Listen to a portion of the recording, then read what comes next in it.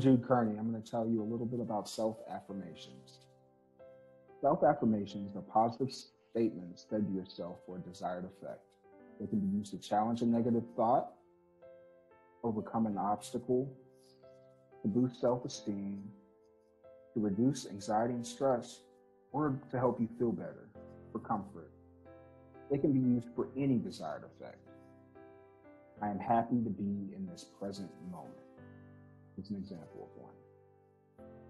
You can say them to yourself in the morning. You can write them on a sticky note. You can say them to yourself when you need a boost of confidence and self esteem. For example, imagine you're scared of everything. Now imagine you're scared of everything and you're standing at the high dive on top of a very big pool. Or you're standing above a deep, cold body of water. You may be fearful, but you can remember being brave once, just once. So you say to yourself, I am brave. You say that to yourself over and over I am brave and you feel a boost of confidence. You could more accurately say, I'm capable of being courageous because you can remember that one time you were brave. Or you can dial it up for effect and say, I'm fearless. And flash. They don't have to necessarily be true. You don't even have to believe them. They will help. So I'd like to try an exercise. I'm going to read some self affirmations, and I just want you to listen to them. Maybe say them to yourself and see which ones resonate to you, which ones could be helpful. If you wouldn't mind, before I do, just try to relax. Try to relax your muscles. Relax the muscles in your jaw. Unclench your hands. Take some deep belly breaths.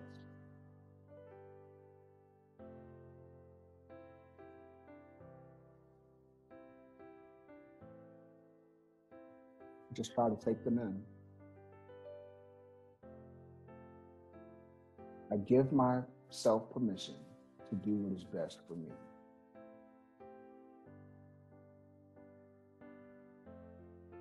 I'm allowing myself to enjoy this.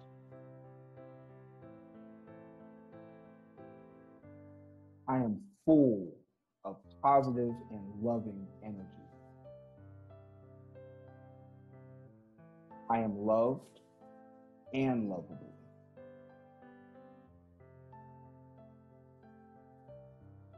I am surrounded by supportive and wonderful people. I forgive myself and I set myself free. That one can be so liberating.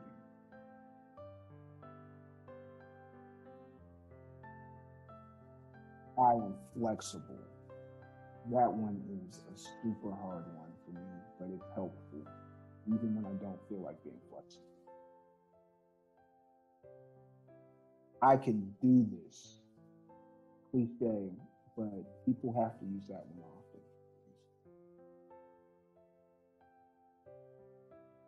I deserve to be healthy and feel great, as we all do. I choose to be happy and I deserve it. I am so awesome. That one you almost feel conceited, but you're not. I am moral. I am good. It's important for me to say those things when I might not have the urge to be moral I am capable. I am enough. I am enough. You are too. These have so many possible applications. I can think of so many instances that I can use these throughout the day. I hope that you've heard some that you could use, or I hope that um, you can make some of your own that can be useful in your daily life. Thank you.